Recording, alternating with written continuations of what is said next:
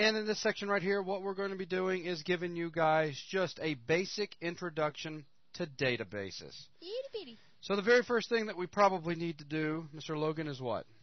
I don't know. Explain what a database is. Well, explain what a database is. Well, go ahead. Explain to us what a database is. Well, pretty obvious from the name what it can do. You know, obviously store data. Now, the actual the the main point is you, anything can store data. I mean, you could store a lot of data in like a text file. Okay. But what if you had like tens of thousands of records in a text file? That's not going to be fun to go and like try to find certain records or get just like like basically specify how you want the data to like given back to you. That's where the real point of a database is, is because um, is the way you can use it to gather the data back. Use uh, like like where you can group by different uh, values, order by different values. Like say you have a whole bunch of data, it all has a has a date with it, but it was all entered at different times. Well, you can actually have the the database, in our case MySQL, go in there and reorder the data for you when you ask for it back. So of course, uh, uh, C- uh, SQL stands for Structured Query Language, and that's the point for it to structure the data when you call it back. Whoa. You know, I actually knew that about the uh, SQL. Did you? Yeah, I looked it up. I knew what a database was. Liar. I knew how to spell could it. we could we get away with saying yes, a database is for storing data?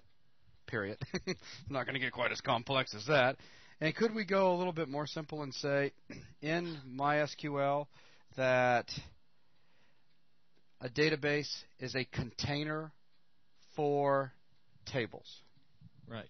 So that's so it's fair to say that a database, Adam, is a container that holds tables. Awesome. The database itself, this is just kind of a weird way of looking at it, but the database doesn't hold data per se.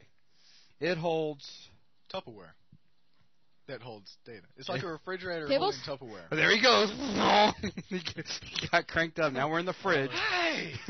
If Tupperware means tables, then I guess you're right. Yeah. Yeah. Yeah, it's like a big refrigerator holding the Tupperware Okay, so that all right. holds the food. Groovy. I like that. You are you are just rolling now.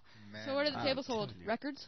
To, well, And if you say records are fields, then you'd be right too.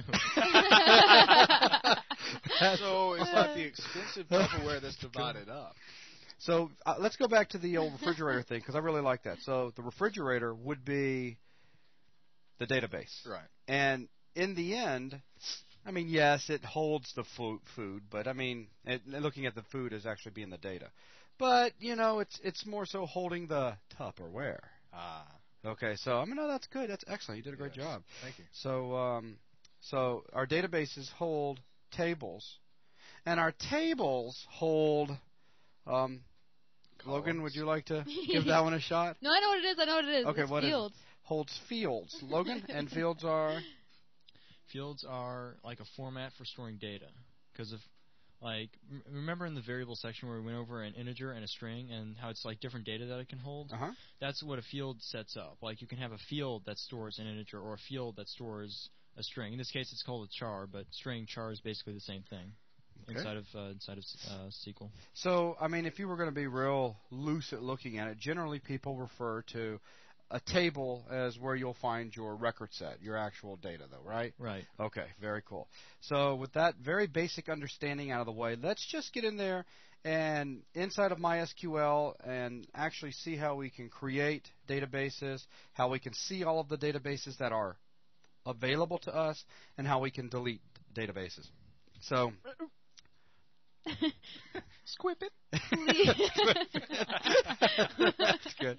So, uh, so what do, what do you think we need to do first? Well, let's let's create a database. All right, before we create the database, though, for somebody that's sitting new in front of a system where they just installed MySQL, what do they need to do?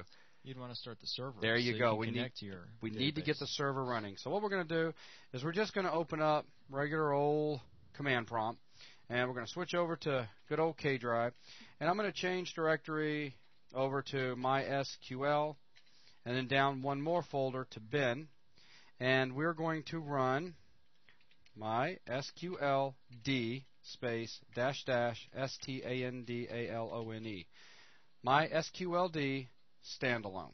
Okay, go ahead and hit enter. Sounds like a song. And tell us, Logan, real quick, what did this do? This actually started a, a database server. What the s- um, it started the let me see started this Start the server. Yes. okay, He's, he really wanted to give a lengthy 20 minute complex description, but he just couldn't get around the fact that we just started the server. okay, so now that we've got the server running, I can go ahead and close this out without being a problem, right? Right. In this in this version of MySQL, you can close this command prompt. In earlier versions, you actually had to leave it running, but in this one, it's you it's you can go ahead and close the close the command prompt. Okay, good. And the server will still be running. Okay, now and now and we can't just start typing in here again, exactly, right? because it's tying up this window. That's right. We're actually this is now the process that's running, right? Right. So we'll just go ahead and close it out like such, and go ahead and come back and open up another command prompt. Just drag it back down here into the recording area. And again, I'm just going to jump on over to K Drive and we'll just change directory into MySQL and back over into bin. And we're going to fire up the MySQL monitor by simply typing in MySQL and hitting enter. And there you are. You'll notice now instead of a command prompt like C colon backslash or K colon backslash, we now have MySQL and a little flashing cursor. Hmm. So we're now in the MySQL monitor. We're in that app, and we're now when we, we're typing, we're talking directly to the server. Sound good to you, Logan? Yep, sounds good. So one of the first things you'll see after getting in is uh, that you can type help or backslash H for help. And we'll just go ahead and just take a look at that real quick. So I'll simply type help, and you'll see that we have a series of uh, MySQL commands that we can fire real quick to uh, just do some simple stuff. Help, which really just shows you this, and backslash question mark, same thing. And we can clear, connect. Uh, there's a whole bunch of different things that you can do, and there's a listing of them and a description over to the side. Another thing that you may find uh, very useful is um, Logan. What do you think? Find very useful status. Status. I, Yes. I would say so. Uh, in case it's a, uh, I'm just going to type in status. I'm going to put a terminator at the end. I'm going to use a semicolon and go ahead and press enter. Status is very useful if you've come into some sort of organization that already has MySQL running and you don't know the version or you need to find out how many connections or et cetera, et cetera. Uh, you can do that by running status. Right now, one of the important things that we'll use it for in this VTM is actually seeing what current database we're tied to. And right now, we're not actually using any particular database. Okay, we've just got into MySQL and we're sitting there and we have not told the server that we want to access this refrigerator or this database. Does that make sense? Yeah, yeah. So basically, you can think of it like this: going into uh, the MySQL is like walking into a room full of refrigerators. And before you open one up, I mean, you got to tell yourself, "I want to open up that one," right? Is that fair, Adam? Is it the side by side or the over and under? That's irrelevant. Don't. That's com- what you have to tell yourself. well, no, you got no. You just want to tell yourself, "I want to open up that one there." Can it be over and under? So, Whatever you want. Oh, okay. Yeah, sure. It can be over and under with the little ice maker on the side. Yay! Okay. So uh, now that we have that out of the way, um, other things, other pieces of information that you can find in here: protocol version, server version over here. Um, just you know, uptime. In this case, we just started at two minutes ten seconds ago. So status can definitely be handy. Now, our first true command. What I want to do is, you know, I want to get a listing of all of the databases that are available. Um, you know, you walk into a room full of refrigerators, you want to get a listing of all the refrigerators that are available for you to peruse, right? Right. Sounds fair. So to do this, what we need to do is come in here and just simply type in show Refrigerator. databases. show databases. Again, I'm putting a terminator, semicolon at the end.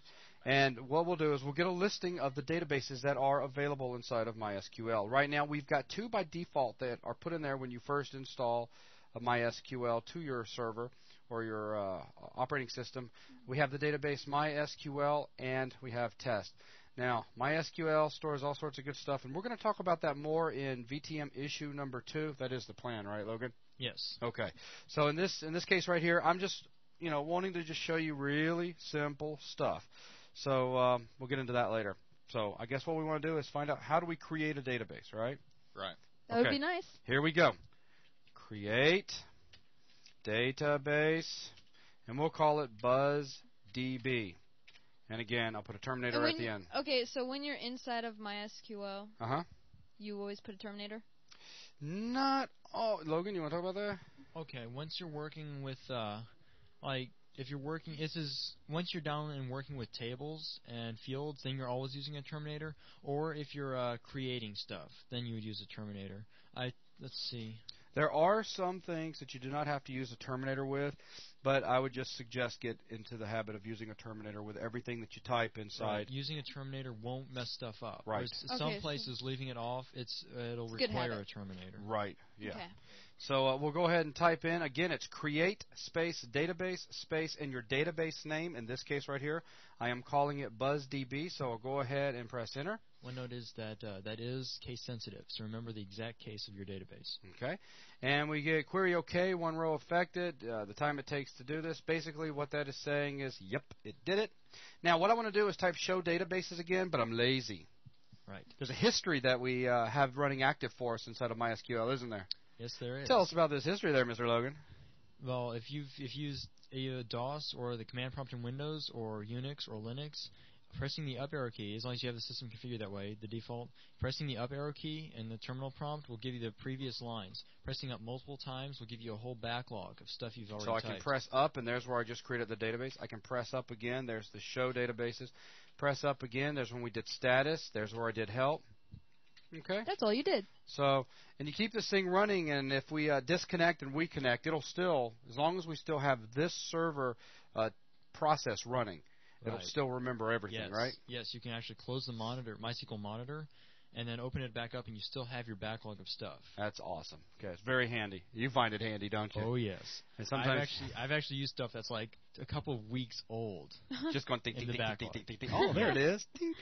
Okay, so let's go ahead and uh, come back down to uh, show databases again. Hit enter, and this time we get a list of database. We have BuzzDB, MySQL, and Test. So there's BuzzDB. Now, you ready for this? That's it. That just created our refrigerator, our database. So it's there. That's there. Wow. It's now ready for us to use it. But how do we tell the system that we want to use it? Well, Use. use. Look at that. That's oh, good. Man. Use Buzz You're a natural. Hire me now. Terminator. Hit enter. Look what we have. Database changed. We're now using BuzzDB. And I can prove this just in case you happen to have forgotten or whatever. If we come in here and type status again, current database, By golly, it's there. BuzzDB. Whoa. Okay, pretty handy, huh? So, um, getting rid of this database now. Sometimes you may want to actually delete out databases. Um, pretty easy to actually kill it. To get rid of BuzzDB, we can just simply say Drop. drop database, and then the name of the database that you want to drop, BuzzDB. Okay? So again, this is if you need to kill out a database, just simply type in drop database BuzzDB. Logan, real quick, tell us uh, if there are tables inside this database, and I type this command in, what's going to happen? Are we going to get a "Are you sure?" or are we going to get uh, the database is populated with stuff can't do? Or Nope, you're just gonna get a. It'll just tell you how how much and what it deleted. So Okay, there's no. as soon as you hit enter, it's gone. so it's pretty unforgiving, right? Yep. And, and and that's not that bad here because you're not usually dropping databases, but there are some things that we're going to be taking a look at shortly that you could accidentally hit enter and do some serious damage Yes. to data, right? you can't oh, go yes, back. When you're working with No. in- No one does. Guess it's your own Nope. darn fault then. You can't Z out. No. Nope. So no, you can't. please I had to be that in, please sorry. be very very careful. So let's go ahead and drop database BuzzDB. Press enter, and now what we'll do is come back in here and we'll tell it to show show databases, and we only have two available: MySQL and Test. I have Okay. a feeling that's gonna bite me a few times. So um, Yeah. all it takes is getting bit once to remember to be careful. So let's go ahead uh, one last time. I'm going to create it again. Again, I can use history. Just kind of flip back through here until I find create database BuzzDB, and we've got it created. And I'm doing this so that in the next section we can take advantage of this when we're creating tables. So that's pretty much all I want to talk about in this section right here. Pretty simple. Yeah. Okay. So uh, thanks a lot, guys.